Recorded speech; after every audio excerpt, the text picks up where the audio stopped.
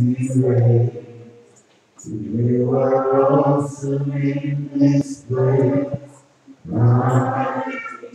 Just one more time. You are awesome in this place.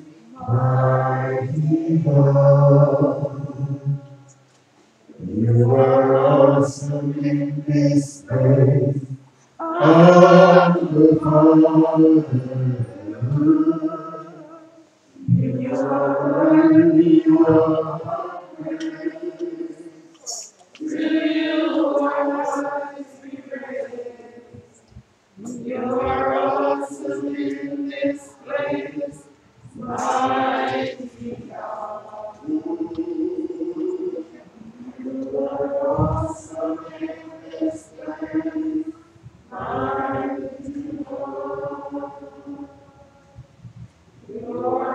awesome in this place, Abba Father. You are worthy of all praise. To you our hearts we praise. You are awesome in this place, mighty God. Can we all stand?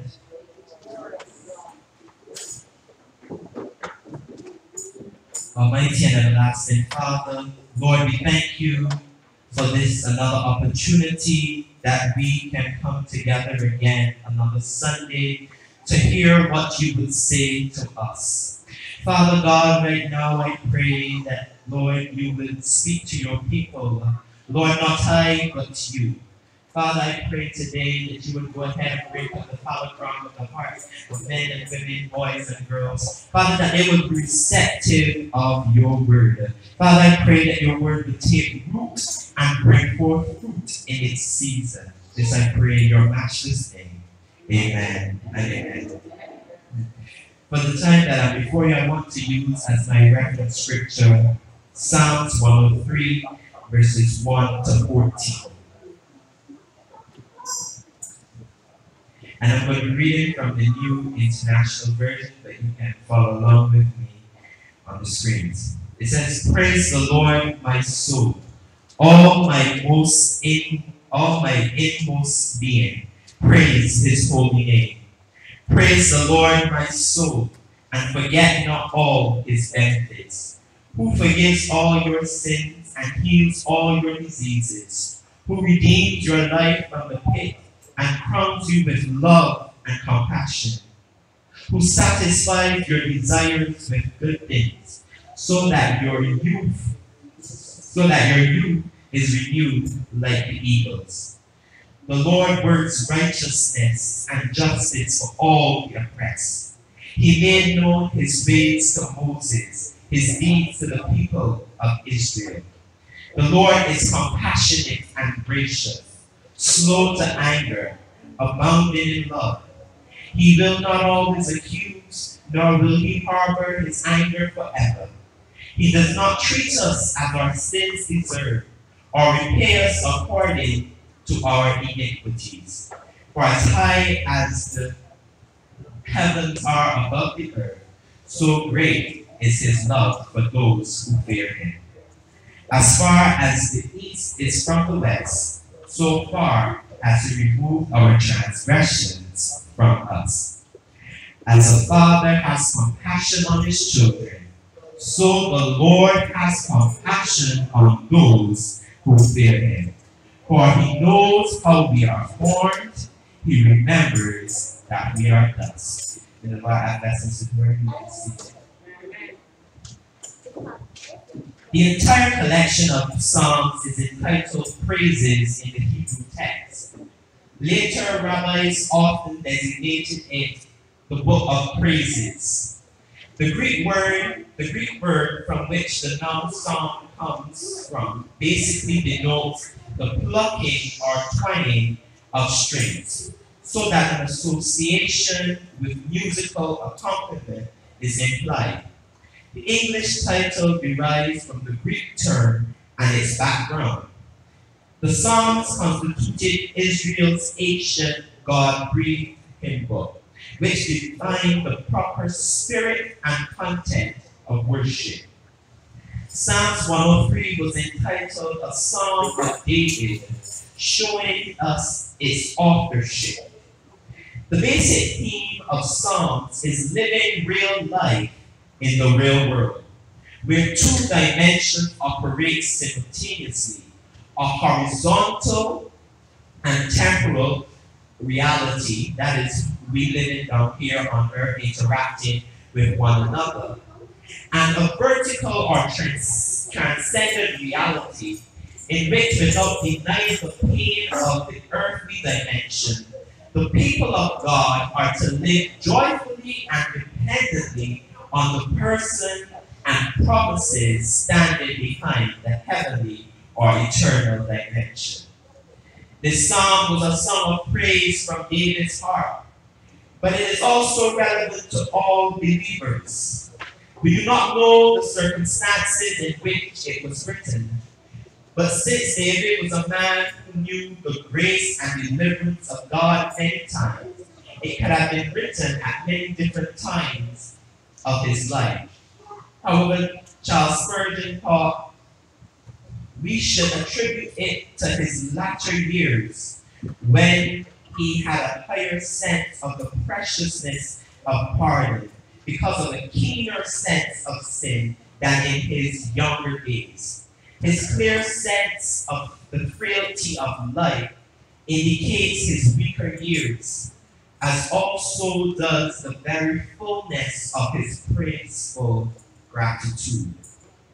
We as Christians believe that there is only one God who is the creator and sustainer of the world.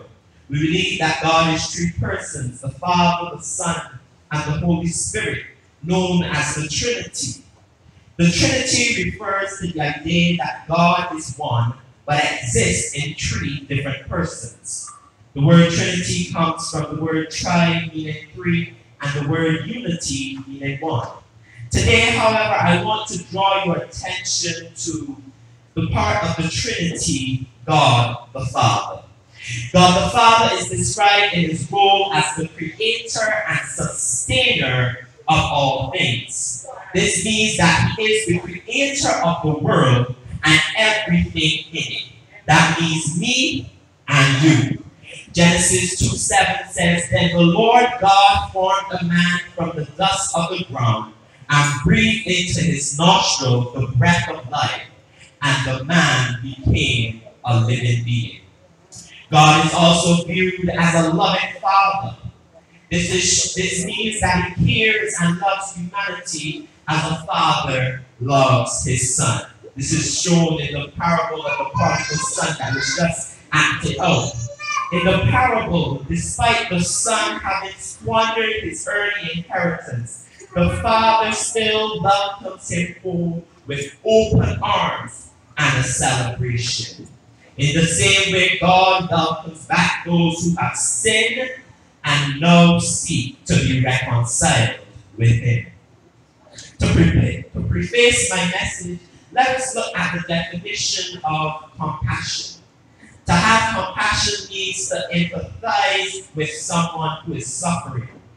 And not only just to empathize and sympathize, but also to feel compelled to reduce the suffering. This morning, as we examine the theme, the compassionate Father, allow me to out a few points that shows God's compassion and explain them as we go down through the scripture verse by verse.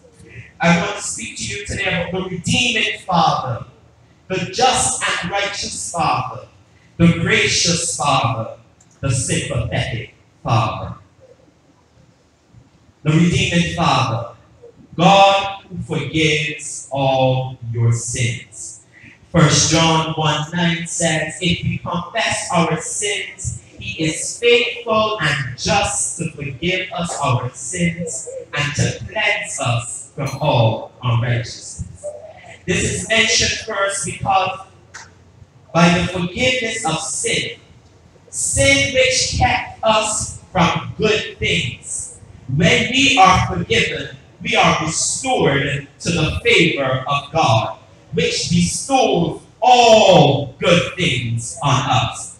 Imagine how great and plentiful our sins are. And I want, as I deliver this message today, that you will really take a, a look at yourselves and think to yourselves how God has done all of this for you. And if you have not yet accepted the Lord Jesus Christ, I want you to take an inner look at yourself and understand what God is capable of doing and what He is willing to do in your life. This, this meant, imagine how great and plentiful our sins are, yet all are forgiven through grace. God's unmerited favor. We are undeserving, yet God chooses to extend his favor. His love to us, extend his favor and his love to us. It is a continued act. He is still forgiving as we are still sinning and repenting. It would be one thing if we're still sinning and God was not forgiving. But as long as we continue to sin, God will still be there to forgive us and to restore us.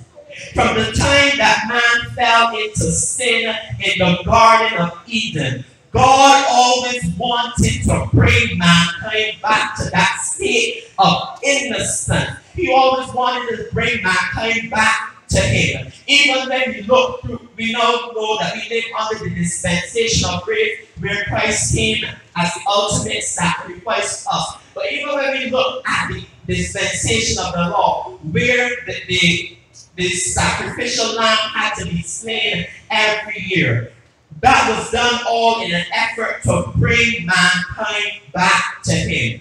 God wants to bring you back to Him so that when He comes to the earth, you can enjoy the pleasures of heaven.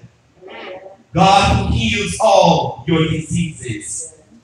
God brings about healing both naturally and spiritually. But today I want to speak mainly about the spiritual sickness and disease. The corruption of nature is the sickness of the soul. And as I said, that goes back to Adam and Eve. The corruption of nature. Uh, up until that point, mankind was pure. But the corruption of nature is a sickness of the soul. It is a disorder and threatens us with death. We all must die down here. We all must die. But there is a second death. There is a second death. There's a second resurrection that has to come. And with that second resurrection, there's also the second death. When those who have accepted the Lord Jesus Christ shall be caught up to meet him in the air as Savior. But those who have stayed in that state of sin, Jesus will say, Depart from me, I know you not. This is cured or healed in sanctification. When sin is mortified, the disease is healed. Though complicated, it is all healed. We, we may never truly understand how it works, how God forgives us. But it works, it is complicated, but we by faith believe. When we are redeemed, God makes us holy. He makes us more like Him, washing and cleansing us. He heals the disease of the corrupt nature that is in us. God who redeemed your life from the pit or destruction. God rescues us from sure destruction. Many calamities are spared from the child of God. God has redeemed us from the destroyer, from hell, from the second death. The redemption of the soul is precious. And again, you can't fully understand it, but God will redeem your life. When you come to Christ and put it in his hands, he will redeem you. God has preserved our soul from death by dying in our stead. When Christ died on Calvary's cross, he preserved our souls from ultimate death by dying in our stead. Job 3 28 says, He will deliver his soul from going into the pit, and his life shall see the light. Today, if you want on that last day to see the light of heaven, you must come to Christ so that he can redeem you from the pit of hell. God who crowns you with love and compassion. God's greatness extends beyond sparing us from sin, disease, or trouble.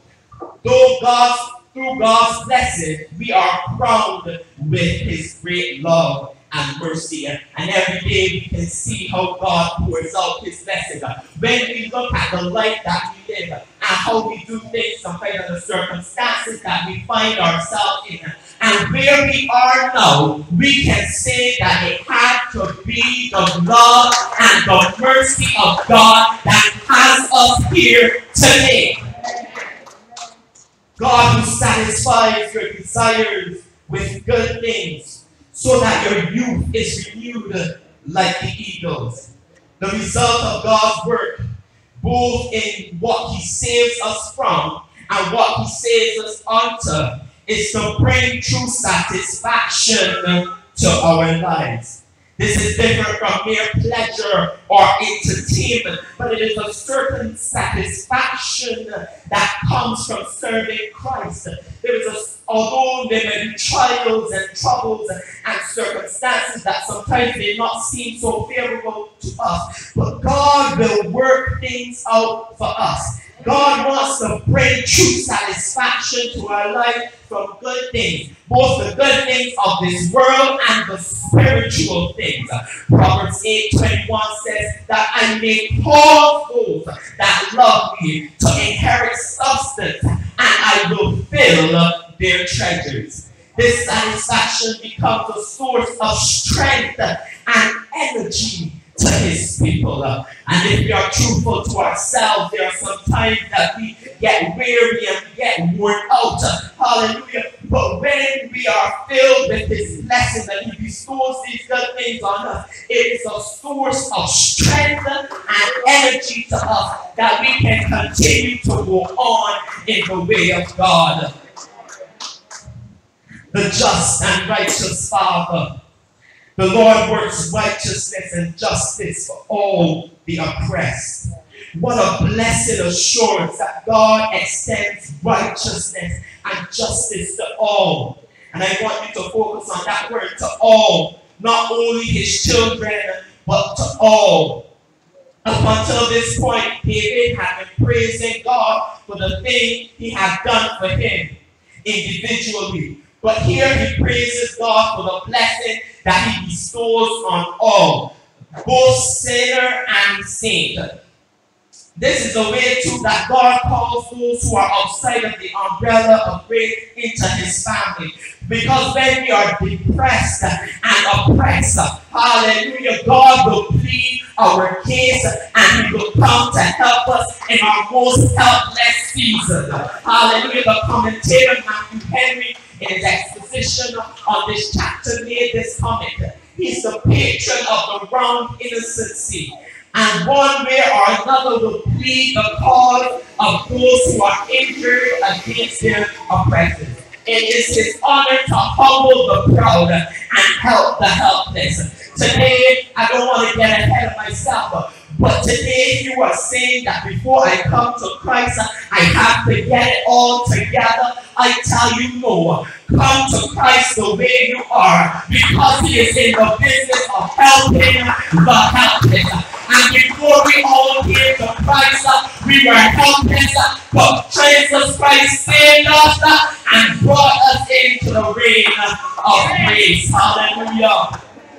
Hallelujah the gracious Father. The Lord is compassionate and gracious. He has never been rigorous and severe with us, but always tender, full of compassion, and ready to forgive.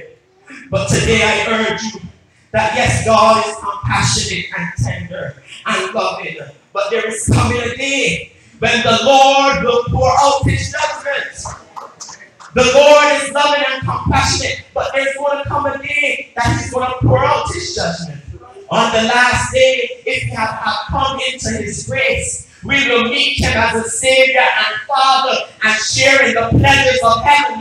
But if we neglect to take advantage while His grace is being poured out, we will meet Him as a judge. But as for now, He is still loving, He is still compassionate, He's still forgiving, and He's still gracious.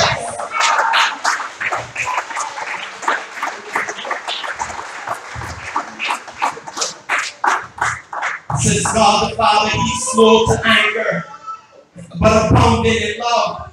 He's slow to anger, not extreme to mark what we do amiss, nor ready to take advantage against us. He bears long with those that are very provoking. He first punishments that he may give space to repent. Hallelujah. And does not speedily execute the sentence of his law.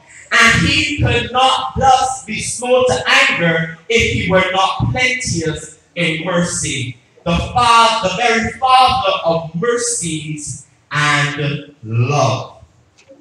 Sometimes when, as I said, we really think over our lives and think where we should be uh, and what, what we think about the things that we do to wrong God and we think really where we should be, uh, we can truly say that God is slow to anger and great in mercy. This is the God that we serve. Above him being ruler and king, he is your father. So although today we might celebrate all of our earthly fathers, today we worship and praise. Hallelujah, the Father of the universe. Hallelujah, hallelujah. He, will not always accuse, nor will he harbor his anger forever.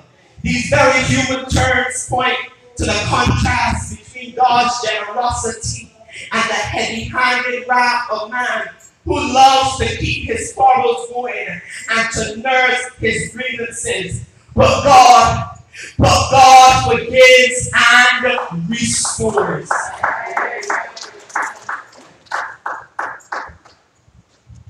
He does not treat us as our sins deserve or repay us according to our iniquities. David knew the slow anger and the bounding love of God personally. He knew that his sins and the sins of the people deserved much greater judgment or discipline than they, they had received. But God, for as high as the heavens are above the earth, so great is his love for those who fear him. As far as the east is from the west, so far has he removed our transgressions from us. We understand too, we need to, to understand extent of God's grace and forgiveness. The distance from the earth to the heavens measures the greatness of his mercy towards those that fear him, his children. But instead, we often think of God's mercy as less than it really is.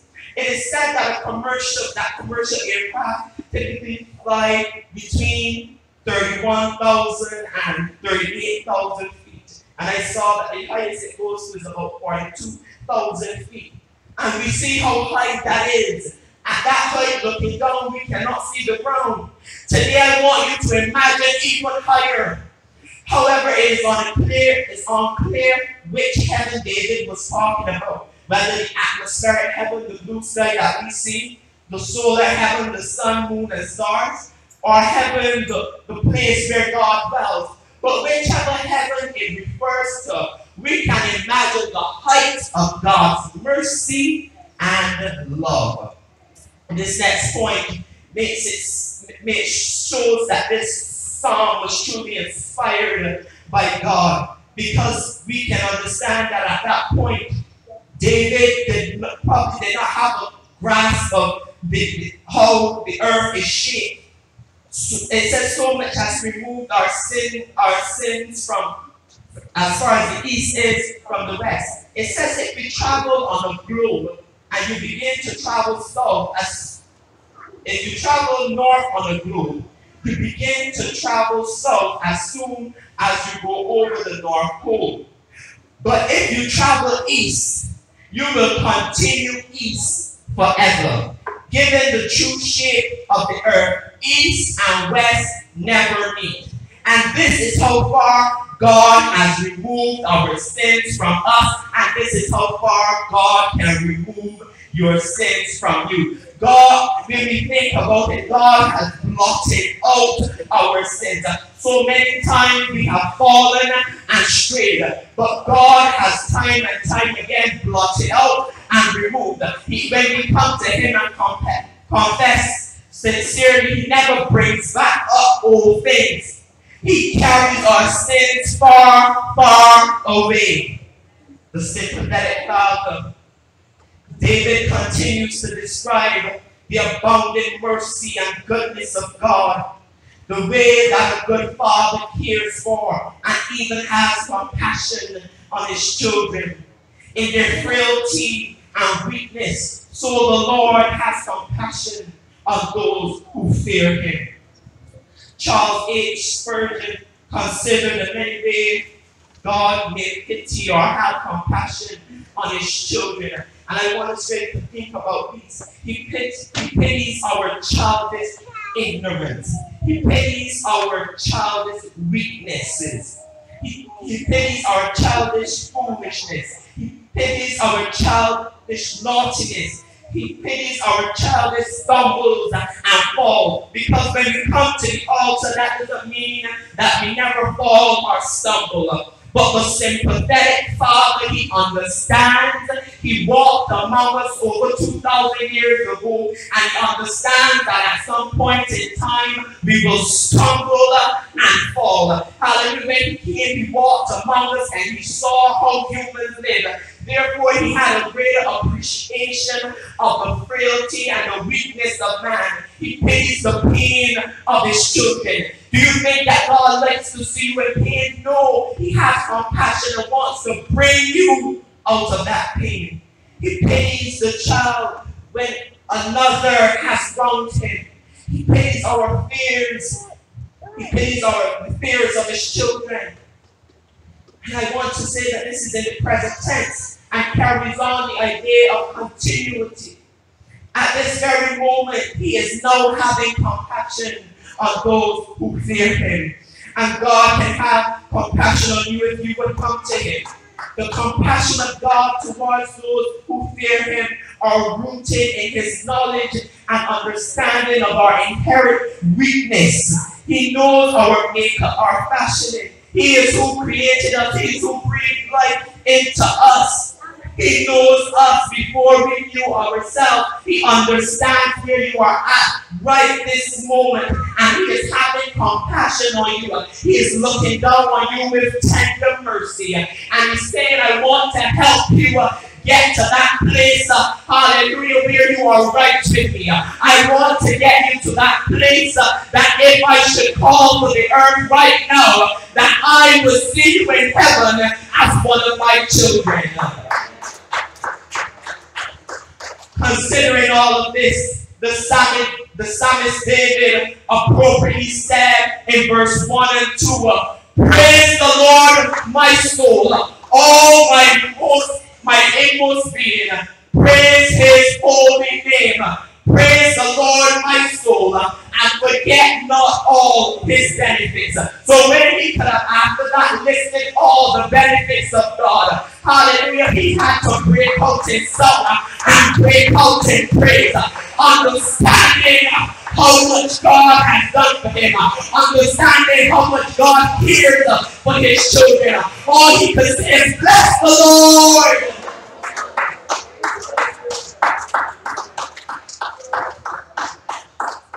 He understood that it wasn't just something on the outside, but he understood that our inner being should praise the Lord. The way we live our lives should praise Him. And our outward body should too. It's not just singing a song, it's not just raising our hands, but our soul must magnify the Lord. Ah, hallelujah. From the inside out should worship the Lord. Today I submit to you that our Heavenly Father is compassionate and loving, far beyond what we deserve or can understand. Today, if you are one of His children under the umbrella of grace, This message serves as a reminder of the great compassion of our Father and urges us to praise the Lord for it. If you have wandered away from home, away from the fold, away from Christ, like the prodigal son, our forgiving, compassionate Father will welcome you back home and reinstate you to where you were before. And if you have never accepted the Lord Jesus Christ as Savior and been adopted as a child of God, today God calls, come. I am ready to receive you as a child. I'm ready to receive you as my child. With all your weaknesses and imperfections, come. He has redeemed you by dying on the cross and will forgive you, for he's a gracious Father. I conclude by saying, remember now, come while God is pouring out his grace before the judgment. He is loving and compassionate. And let us praise him for all he has done, does, and will continue to do. Hallelujah. Today, if you are a child of God, just stand and worship the Lord. Come on and celebrate your Heavenly Father. Hallelujah, hallelujah. He is loving and compassionate. Let us worship and bless the Lord. Hallelujah. Hallelujah. And today, if you have wandered away and you want to come back to Christ, understanding that He is ready to forgive you, ready to reinstate you, ready to redeem you, ready to pour out His grace, come. And if you have never accepted the Lord Jesus Christ as Savior, the call still come. Today is a good day to give your life to Christ. Today is a good day to be a child of God. God bless.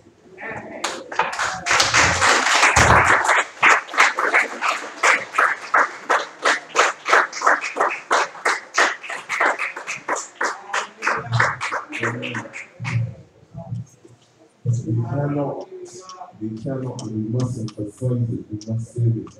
Now is the accepted time of salvation. We will not take it for granted. We will not take it for granted. Now is the accepted time of salvation. And the call still goes out if you have not accepted him as your personal Lord and Savior. The altar is open. But he says he is faithful and he is just to forgive us of our sins. He is faithful and he is just. No man knows the hour, nor the day when they will pass away, nor the time when Jesus shall come. So we do not take it for granted that we have the next second down. Now is the acceptable time of salvation. For we are still living in the toenails of times. Old song say, clock, clock hand is striking hour. We, we, we, we, we can't take it for granted, but he's loving to us. He's loving. And reached down his hand for me.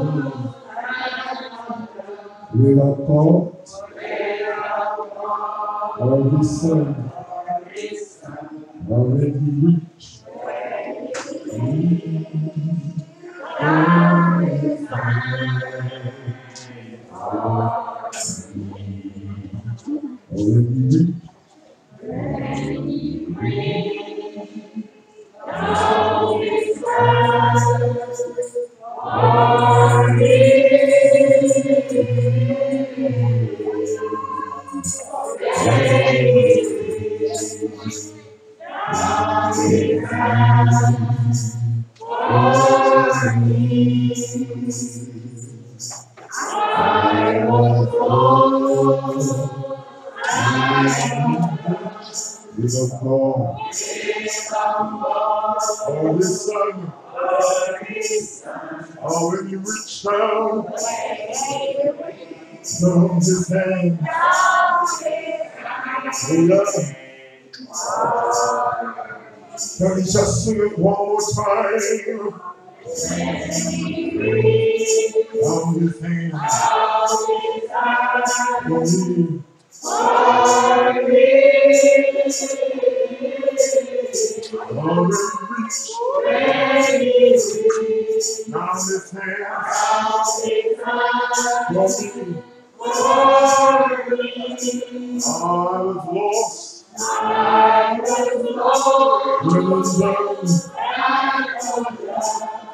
without God.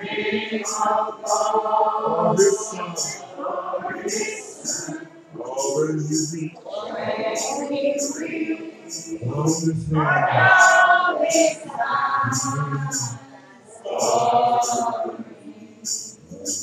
lost. Anybody here was lost and undone? Come on and thank him for, for, for reaching down his hand. Hallelujah. Can we just thank him for reaching down his hand? The love of our Father this morning. We were lost. We were undone. Without God or his son. Ah, but he reached down his hands.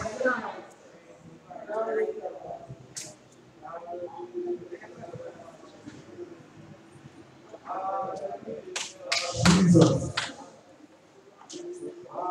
I'm just going to say that one more time. We were lost and undone. Without God or his son. None of our accomplishments in this life cause us to be found. But Jesus. Somebody said I was sinking deep in sin, far from the peaceful shore. But the master of the sea, oh, spirit, he heard my spirit cry. And today we all can say, Lord, lifting me. If not lifting you this morning, you just give God a note of praise. Hallelujah for his love. Hallelujah. Oh, praise the Lord. Oh, we thank him for his love. For his banner over us is love. Amen. Hallelujah. I know we usually sing in the praise, but, but I just need, I really need to bless God's people. So we're going to do it different today, and we're going to say, The Lord bless you and keep you. The Lord made his face shine upon you and be gracious unto you. The Lord lift up lift and grant us his peace now and forevermore. And all God's people say, Amen. Amen. Have a good week in the name of the Lord. Hallelujah.